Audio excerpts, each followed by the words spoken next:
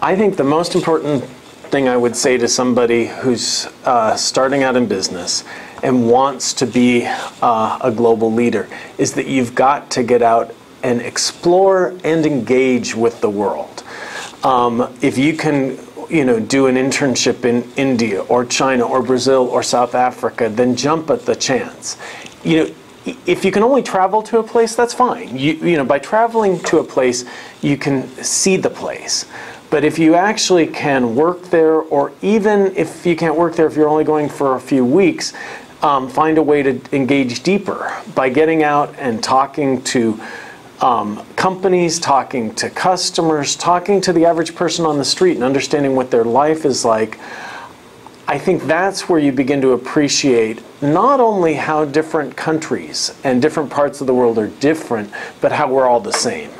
That's where you begin to understand that we all share, that we have a shared humanity, and frankly, the challenges and issues we're facing um, are complex and have to be tackled together.